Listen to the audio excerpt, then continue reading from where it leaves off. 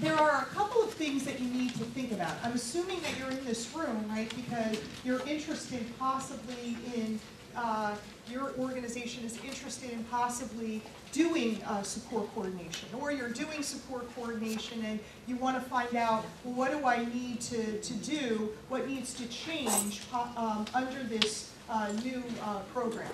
So one of the biggest things is this notion of conflict-free. And uh, I laugh because I was in um, Washington about a week and a half ago, actually right after the hurricane, and I was with other DD directors from basically all over the country. And it's, you know, there's always topic areas, al- almost uh, things that come up that people are talking about and struggling with in their states. Um, and I was actually shocked because we were getting ready for this meeting and uh, we were, and have been working closely with CMS on, on this notion of conflict free. And I would say it is the biggest issue that all states are facing.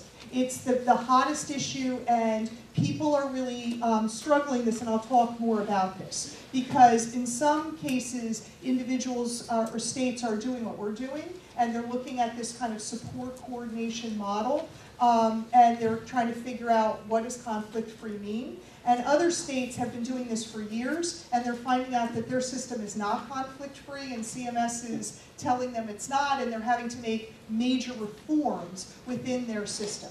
But what's clear is that what, uh, and what's, uh, we say best practice, but really what's clear is that CMS, right, the feds um, have said that you need to have a conflict-free, whatever you're going to call it, support coordination, case management, or, you know, uh, kind of function. That the support coordinator is really there, right, to act um, on behalf of the, to work with the individual, to support him or her and their family, and really to be there to take a look at within the system what needs to be, what needs to happen, what needs to, and they can't have um, any ties, right, to um, to, to services. So that notion, and we see this, um, some of you may know the state, uh, some states have applied for a balanced incentive program, which is an extra match, and New Jersey is going to be doing that as well. There's um, all the new things that are coming out from CMS basically make the state ensure that it has a conflict-free um, case management, support coordination, care management function. So um, the best practice and really the, the system um, really needs to have total separation between the support coordinator and direct services, okay? So really, um, when you look at sort of be best practice out there, you see organizations separate um, businesses, entities, whatever, agencies, whatever word you're gonna use out there, and that is their job. They, they do uh, support coordination, care management, case management, whatever. Uh, and so, um, and that's their sole business. They don't do any other services, okay? Um, and so really, that's, um, that's what we like. That's best practice, and that's clearly conflict-free, okay?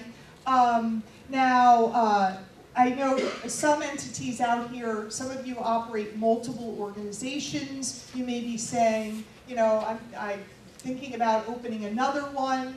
Uh, we just want to be clear that when we're talking about distinct or separate entities, we're talking about a distinct board of directors. You know, we're talking about a CEO that's different, right, than the service provider. The staff, you know, are different uh, from the service provider and it has a separate financial structure, okay? So if you have an entity which is distinct, distinct staff, board, financial structure, it's distinct. It's clearly conflict-free. Now, uh, that, um, most of you um, in this room, and we have, we do have some entities right now, I'm just going back, which may be advocacy organizations or entities that don't provide services that certainly fall into that category and we'll probably have other entities that will be developed, right, that will um, be separate entities uh, to do uh, support coordination. What we're saying is that um, But that's a few, that's only a few people in this room, and we only have a few of those entities. What um, is acceptable, and what we've talked to CMS about, is the fact that if um, an entity provides direct service, right? You're a transportation provider, you do, um, you know, in-home respite, I don't know, that in fact, you can do support coordination, but there's a couple of buts. One is that it's clear that for the same person, an entity, XYZ agency, can never be a service provider and a support coordinator. Okay, so that can't be. So if I'm XYZ agency and I provide respite, I also can't be the support coordinator for a particular individual. Okay? Um, uh, however, if I, let's say, do transportation, right, and a person is not, um, do, you know, accessing transportation, they're not going to access transportation, I, me as an entity, XYZ agency, could be assuming that you meet all the qualifications, et cetera, could be a support coordinator, or I could provide that service to individuals. Now, there's a couple of caveats. One is we're, we, um, uh, we're going to look at that closely. Meaning, if you're the only uh, day service or employment service in a particular county, I think it's going to be really hard, you know, for you to then be the say, well, yes, I'd like to do support coordination because most of the people are going to end up maybe in your service. I'm not, you know, or if that's a big part of what you do, or you're looking at that last slide and you're saying, well, I really have plans to grow my services. I'm going to be providing a lot of these other services. Then probably support coordination is not for you because you're going to start running into lots of conflicts. And what we don't want to do is what we don't want to do is have people have to um, constantly change their support coordinator. Because I think we all agree, right, that the relationship between the person and the support coordinator is, is important. So what would happen is if they started a plan with the person, right, and the person was the support coordinator, let's just say for eight months and suddenly they needed to access or they wanted to access a service by your organization, they would um, have to choose, right? I mean, they would either have to not get that service, go to another provider, or they, you would have to, that person would have to move to another support coordination uh, provider. So that I think is disruptive, right, in many cases, and um, uh, it, um, you know, it, it causes some problems. So I guess what I would just say to some of you is, if you are a service provider, you can do support coordination, but you kind of have to figure out what you're going to be in the new world and, um, and what kinds of services you do uh, provide.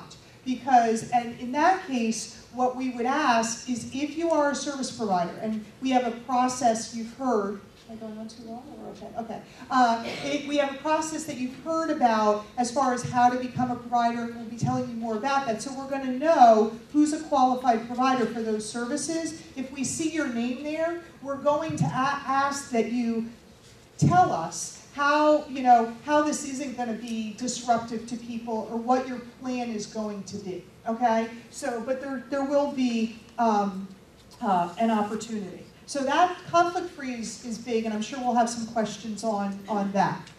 The other, uh, I get all the hot topics. Um, the other issue uh, that comes up is uh, ratio. So um, we're not going to, you'll see that there are deliverables. There are things that the support coordinator has to do, right? And there are, you know, levels of service, et cetera, things that have to be done. We are not going to say, well, a support coordinator, right, can only have, you know, 35 people that they're working with, or 30, or 17, or, you know, whatever. It's really leaving it up to the agency to manage. Obviously, um, in some cases, you might be able to do it, uh, have larger or less, but it's definitely going to be a uh, consumer-driven service. So uh, you have a responsibility to meet the deliverables, and obviously people want good customer service. They want a quality service. So if they feel like you're not spending the time or it's not a quality service, they probably will end up going to another uh, support coordination agency. But you, um, you're going to have to tell us what the ratios are. You're going to have to and um, you know report out how many people you have, uh, but we're not gonna, there's not gonna be a cap. There's not gonna, so uh, we will be monitoring it, as I would suspect agencies will be monitoring it too, right? You may internally say, I only feel comfortable with you know, 30 or 40 or whatever it is. You'll have to monitor that as well to provide a quality service, but we're gonna be taking a look at it as well.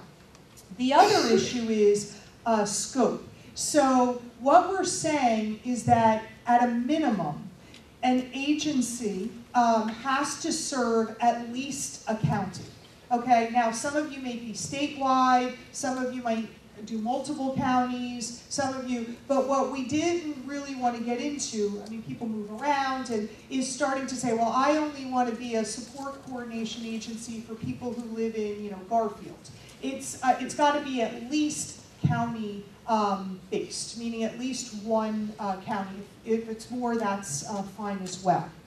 Um, the other thing I should say before I get to my next slide is you also have to accept all individuals that are in the supports program. And what I mean by that is, you know, some of you may have niches of, uh, you know, I, let's say I'm an advocacy organization for people with autism, or I'm a, you know, I serve this particular uh, we are not allowing people to be support coordinators for any one distinct uh, particular population as well.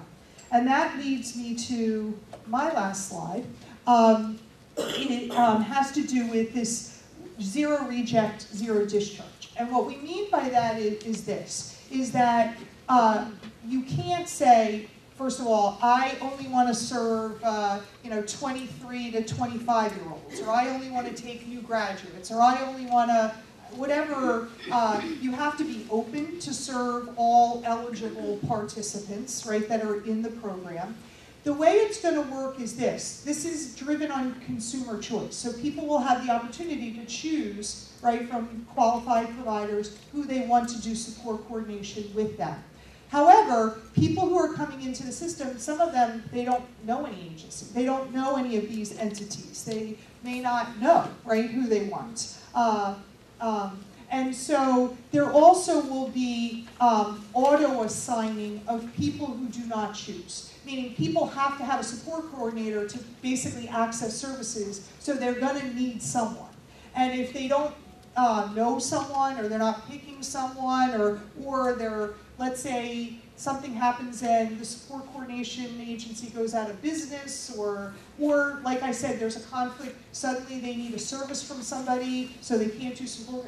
People are gonna need to be assigned to support coordination um, agencies. And what, so the kind of the zero reject part is, you can't say, I'm sorry, I don't like that person, I don't want to serve that person, they, you know, um, they're not the type of person I serve. They, you have to accept them for support coordination. Now, there are caveats in that um, we have, I don't think we have it on this slide, but, you know, it's not, um, maybe you're you're full. You know, maybe you're you're capacity. You know, maybe you it's you have to hire new people, or maybe you're at the, the level of. So there are caveats in that you're going to have to um, distinguish. Uh, you know what your um, service capacity is. But what I mean by that is you you have to accept people who are assigned to you. Uh, as far as discharging individuals, the, the responsibility for discharging them is actually going to fall to the division.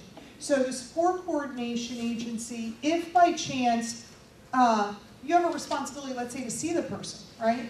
And they don't, um, they're not showing up, or they're not complying, or they're not signing off, but you know, they have to follow the rules of the program. And if that's an issue, you're going to need to let us know, and then we would, uh, they would basically be discharged from the program. But you can't say, well, you know, this person, um, you know, I, I'm not getting along with them, or, you know, we would have to, um, uh, address that with them. So really, the responsibility of discharging people from your organization, from your support coordination, would lie at, uh, the division. And really, it's tied to eligibility for the program, right? They don't maintain eligibility, maybe Medicaid eligibility, or, um, they are, uh, they're causing you difficulty because you can't meet your, what you're supposed to be doing, right? Because they're not showing up or signing off. Um, and then if someone, if a support coordination agency goes out of business, or maybe you say, I'm not doing this anymore, or whatever, you will let us know. It's not the support coordination, this is sort of goes to the auto assigning. It's not the support coordination's agency, a responsibility to find other support coordinators. It's the division, you would let us know, and then we would assign those individuals to other support coordination agencies who would pick up um, that service.